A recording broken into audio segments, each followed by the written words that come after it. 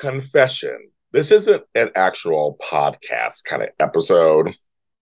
It's me, James Lott Jr. This is Darth Vader, your father. It's actually was born out of me wondering from another podcast what was happening in the movies 20 years ago this week. So uh, July 26, 2002. That seems like a long time ago. Oh my goodness. That was 20 years ago. Whole new whole the world. We're coming out, we're still coming out of 2000, you know, 2000, what happened on September 11th, coming out of all that stuff from the year, from half a year before. Um, and I was looking for something else, and this came up. And I just thought, wow, I didn't realize the movie was out during it's this random week I chose out of the whole year that this movie was out. And so I thought, gonna, this is the place I come to talk about Star Wars related stuff. So 20 years ago this week, um, out of the movies, at number 17, the 17th movie of the week was Star Wars Episode 2 Attack of the Clones. I'm like, oh. Um, now I'm wondering, I'm just I'm gonna do some research. If you guys know this already, you can you already know this already, you can let me know. But now I'm wondering if I just start picking random weeks out random years since Star Wars, since the Star Wars saga has been released, will I find a Star Wars movie every time? Well, I guess no, because there are a couple. There were some years there was no Star Wars movies in between. That's true. So never mind. So I guess that wouldn't work. But I, but but I guess the thing would be still if I picked how many times a Star Wars movie would show up. That's probably better. How many times a Star Wars movie would show up if I just randomly pick years and do it? That's that's what it is. More. I'm, saying, what would be the thing? What would be the thing? That would be interesting to see. And because there, I mean, it's all those, you know, all those movies, all those trilogies, all those movies. Um, so it was out for 11 weeks by then, and it grossed over 296 million dollars. So it's a lot of money. Um, I personally was in San Francisco. I went and saw the theater.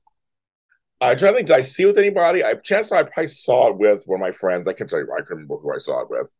Um, could be my friend Nick, could have been my friend Michelle, who knows. But we saw it at a theater. I'm sure I remember that much for sure. I remember I didn't like it as much. I thought it was okay. Remember that.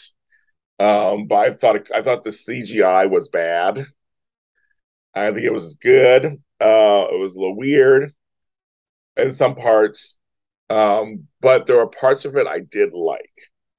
Um, I think I did. I did another show where I talked about exactly what I liked about it with so with my co-host. So I won't reiterate that here, but um, I just I, I remember I, I thought I thought it was okay. I wasn't blown away by it. I thought it was okay.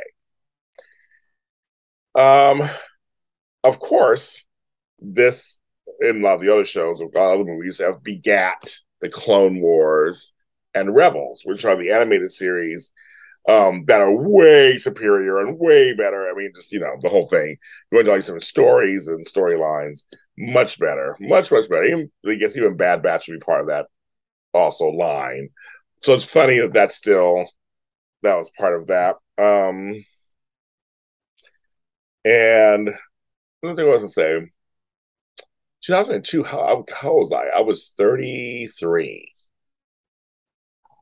So now I'm watching Star Wars films in my I'm middle age, not middle age yet, but in my just adulthood. Like I'm serious adult. I'm like twenties, but like I'm in my serious adulthood. And I remember um the second trilogy, each movie, my kind of generation wasn't as excited. We were excited at first, but then we saw the first one, we're like, uh, and then this one we weren't as excited. Um, of course, the third one to come. So anyway, that was kind of funny. I just this was not supposed to be a podcast episode. It was just kind of like I'm doing something research for something else. But you guys are my Star Wars nation. I had to share this. So 20 years ago this week, Clone Wars with uh Clone Wars. So I said I just say Clone Wars. Attack of the Clones was in the theaters in the top 20 still. Now After 11 weeks, that's pretty good. So people were seeing it. I had friends saw it over and over again. I think I saw it once in the theater, later when we got the the DVD. I watched it several times, but in the theater, I have friends who went to the theater over and over again and saw it. I'm James Lott Jr. We're on audio, we're on video. All the episodes are there. Plus, check out my Boba Fett after show, Mandalorian after show for season two, Obi Wan Kenobi after show, and we've already set up the Andor after show. Uh, so we will be here for Andor when it comes out. And I set up the Ahsoka after show. So when Ahsoka comes out, we'll be there for that too. Mandalorian season three we'll be back for that. All those things. Hello to our friends from around the world. We love you. Um, me, my co-hosts. Uh, and who knows what else we're doing. So just stay tuned with us. Keep following this wherever you find it. And we'll see you next time.